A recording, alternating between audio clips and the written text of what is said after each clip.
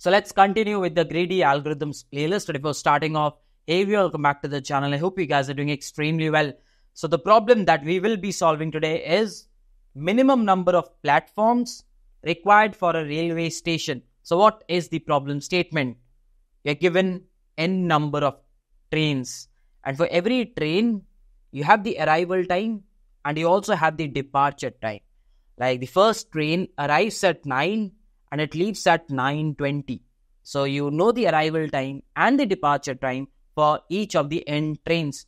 Now your task is to tell me what is the minimum number of platforms required such that each of these n trains can arrive and depart. Let's understand. So when I'm at the first, uh, like when the first train arrives at 9, how many platforms do I need? I just need one. So can I say that at platform number 1, the train will arrive at 9 and it will leave at 9.20. Okay. Let's check out the next train. It arrives at 9.45. Do I need a platform number 2? No, I don't need because this train will depart at 9.20. So this platform will be empty. So what I can do is I can just say, hey, can you go and take the platform number one? Perfect. Let's check the next one out. The next one is going to arrive at 9.55. So if it is arriving at 9.55, can it arrive at platform number one? No, it cannot because there is already a train from 9.45 to 12 on that platform. So what I can do is maybe I can say, hey, can you go to the platform number 2? And it will go to 9.55, 11.30 will go to the platform number 2. Perfect. And the next one is arriving at 11. So can it go to the platform number 1? No. Can it go to the platform number 2? No. So it will be going to the platform number 3. So arriving at 11 and leaving at 11.50. Perfect. What about the next one? 15 and 1900 arrives at 15, leaves at 1900. So when it arrives at 1500, can I say that all of the three platforms will be empty? All of the three platforms will be empty. I can send it to anyone. So maybe I'll ask him to go to platform number one, 1500, 1900. The next one is arriving at 1800. So will it go to platform number one? No, it cannot because the train will leave at 1900. So it will go to the platform number two at 1800 and it will leave at 20. So if you look at the entire journey, like entire day of n trains, what was the maximum number of platforms that you needed? At max, if you have three platform, you can have all the trains arriving and departing. Do you need four? Four will also work, but that will be overkill because what's the use of the fourth platform? That is what the question is asking how many minimum number of platforms will be able to accommodate all the trains arriving and departing. Over here, I can say three platforms will be enough because at the worst case, there are three trains which are intersecting, which are intersecting in terms of arrival time and in terms of departure time. Understood the problem statement? So, what will be uh, the brute force? Like, what is the brute force? Again, uh, I did say a word intersecting, right? because the arrival times and the departure times, if you carefully notice, this one, this one, and this one, all of the three were intersecting at some point. That is why you needed three platforms to accommodate these three trains. So if I can figure out the maximum number of intersections, I think that will be doable, right? So what I will do is I'll pick up this uh, like the extreme naive solution. I'll pick up the train number one and I'll say, is this train like intersecting with anyone else? No, no, no, no, no. So this train will require at max of one platform. Perfect. Let's take this one. Is this train intersecting with anyone else? Not with this one, but with this one and with this one. Because if you see the time, times are intersecting. Like 9.45, if you say is from here to 12 is here. 9.55 will be somewhere here and 11.30 will be somewhere here. So this is definitely intersecting. Then there is 1100 which is 1100 and 1150 will be here. So it is also intersecting. So I can say this one is intersecting with this and this. So thereby I need three platforms over here. Perfect. This one is also intersecting with this one and this one. This one is also intersecting with this one and this one. This one is only intersecting with this one. And this one is also intersecting with this one. So what I can say is at max, the number of intersections that I did see was three. That's it. Done and dusted. So if I have to ask you about intersections, imagine a train is arriving at this time and it's leaving at this time. The dots are right. How can it intersect with other trains? One of the ways is the other train that it is intersecting with is has arrived previously and it will depart after it. The other case can be it has arrived previously and it will depart before uh, this particular train departs, or it will arrive later and it will depart in some other case, or or it will arrive and depart somewhere between them. So there are four cases that you'll have to consider arriving before, departing later, arriving before, departing middle, arriving middle, departing later, arriving middle, and departing middle. So you have to consider four cases when you are considering the case of intersection, right? So quite simple. That's what we will have to do. So what I can do is I can write down the function for the brute force. I'll be given the arrival time. I'll be given the departure time, right? What do I need to do? I just need to find out the maximum intersection at any point. So maybe I can keep a max count equal to zero. And I can start from the first platform, super simple. I'll go until the last and I'll start checking how many intersections does it have. For the train itself, it will require a platform. So I can keep the count as one. And I'll start comparing j equal to i plus 1 can go up till n minus 1. Perfect. And I'll have an intersection check. So you can write this check by yourself. Quite simple. I'll leave that to you. Count plus plus. If it is intersecting, you'll do a count plus plus. And uh, whenever there is a count plus plus, or maybe after this, you can do a max count equal to max of max count comma count.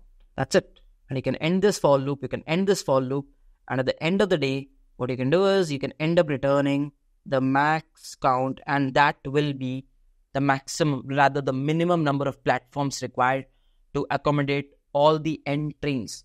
Now, this condition, uh, when you compare, you're comparing between arrival of i, departure of i, with arrival of j and departure of j.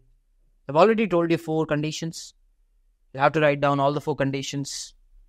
Again, this is a brute force. You can definitely optimize slightly here and there. But this is going to be the extreme naive solution that comes to my brain. And if I implement this, what will be the time complexity? A big O of n, big O near about big O of n. So can I say that the time complexity will be somewhere around big O of n square? I definitely can. And can I say that the space complexity will be somewhere around big O of 1 because I'm not using any external space. And obviously the interviewer will not be happy with this n square because it is quadratic in nature. And this is where we'll ask you to optimize. So we need to optimize n square. Now, this is a clear indication that the algorithm that we are looking for will be somewhere around n log n or a big of n. Okay, so how do I optimize this? Now, in a real world, what I'll do is I'll go outside the railway station and I'll start observing as the time passes by. So I see that the train number one arrives at 9 o'clock. This is the first time that you see something happening. So the train number one will arrive and it will take the platform number one or whatever platform number you can assign it. As the clock ticks by, as the clock ticks by, what is the next time that you see? 9.20. At 9.20, again something is happening and that is the train number one leaving. Train number one leaving. Okay, done and dusted. Platform is empty. What is the next time? 9.45 is when the train number 2 arrives. So I can say that at 9.20, uh, 9.45, train number 2 arrives. What is the next time as your clock passes by? 9.55, the train number 3 arrives. As the clock passes by, 11 o'clock, the train number 4 arrives. As the, cl- as the clock passes by, what is the next? 11.30, 11.30, not 12, 11.30, okay, that's train number 3, it goes off. As the clock passes by, 11.50, the train number 4 goes off. As the clock passes by, 1200, train number 2 goes off. As the clock passes by, 1500, which is train number 5 arriving. As the clock passes by, 1800, which is train number 6 arriving. As the clock passes by, 1900 is the train number 5 leaving. As the clock passes by, 2000 is the train number 6 leaving. Throughout the journey, you did see that at max, you required three platforms. You did observe that three platforms were used at max. Perfect. So, what am I doing? I'm standing and observing as the time passes by. As the time passes by. So, can I sort everything according to time? Because then it will be easy. So, if I sort everything according to time, what will happen is I'll get something like 9 o'clock, first arrival, 9.20, first departure, 9.45, arrival, 9.55, another arrival, 1100, another arrival, after that 11.30, a departure, after that 11.50, a departure, and I can keep on going. I can combine these arrays and sort them according to the time because as the day passes by. And what I can do is I can keep a count variable initially as 0 because when I arrived at the railway station, the count was 0. And this is the first train. It arrives at 9. So I say, okay, it's going to take up 1. It's going to take up 1 because it is arriving. After that, I go to the next time when something happens. That's that's a departure happening, which means okay, one platform released. After that, I go to the next 9:45, an arrival happening. Count one. 9:55, another arrival happening. Count two. 1100, another arrival happening. Count three. 1130, departure happening. Count two. 1150, departure happening.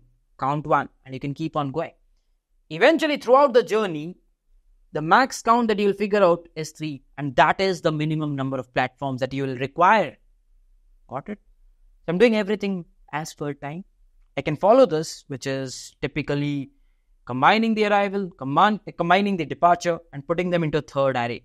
But this will require an extra space complexity. Can i do it uh, on the same array? Probably yes because what i require is a time sorted by because I'm doing everything on time as the day passes by. Can I sort everything according to time? Because I don't, I'm not concerned about arrival and departures staying together because as the day passes by, I'm keeping account. So what I will do is I'll sort the arrival time separately. And if you see that this array is already sorted, so it's already sorted.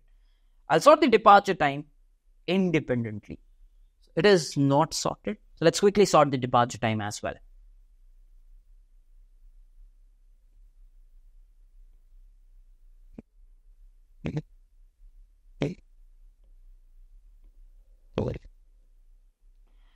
So what I've done is I've sorted the arrival time and the departure time.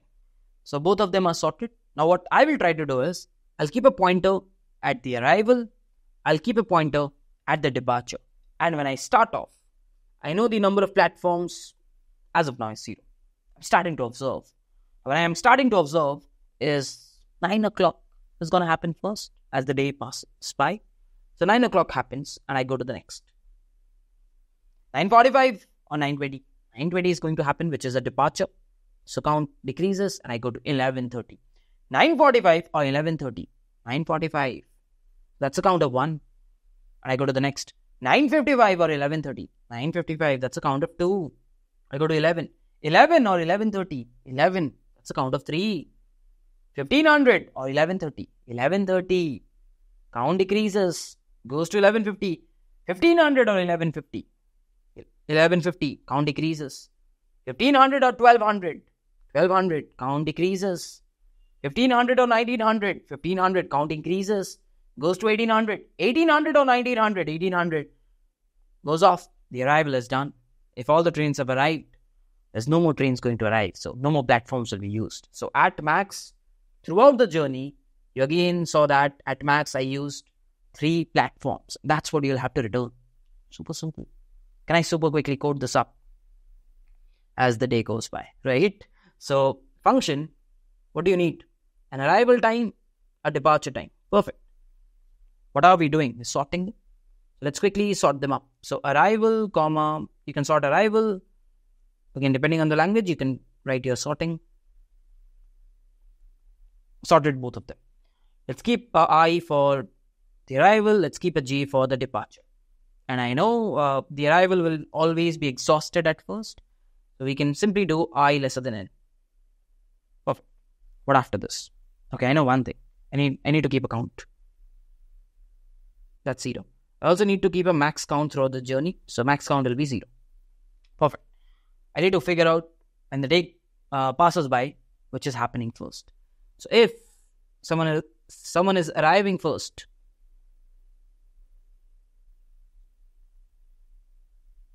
so that's departure of J. What I can do is I can do a count plus plus. Perfect. At the same time, when this arrival is done, I go to the next event, which is i plus 1. But if someone is departing, I'll do count equal to count minus 1. And I'll say j equal to j plus 1. It's a simple two pointer concept. Done. What after this? After this, I simply say, okay, what's the max count? Max count is going to be max of max count, comma, count. And I can say the while loop is done. And I can straight away return the max. Okay, done and dusted. Complexity time. N login, N log n. So that's a 2N log n. And that's a big of N. Is it a big O of? No. It's not a big O. Why? Because at the end of the day, you're traversing throughout this array as well and throughout this array as well. Because sometime i plus 1 has happened, sometimes j plus 1 has happened. So overall, I can say this is taking big O of 2n because you're traveling in two arrays, sometimes in the first, sometimes in the second. And this is 2n log n. So overall, time complexity can be said as 2 into n log n plus a big of n. And the space complexity will be big of 1. I'm distorting the given array. But if in an interview, the interviewer is asking you not to distort a given array and follow the other approach where you take a third array, put everything, and then sort. And follow that as well. Time complexity and space complexity will be pretty much similar. So yeah, this will be it for this one. I hope you've understood it. So if you're still now watching and if you've understood the entire intuition, please, please do consider giving us a like. And if you're new to our channel, do consider subscribing to us as well. With this, I'll be wrapping up this video. Let's in some other video. Till then, bye. Take care. Whenever your heart is broken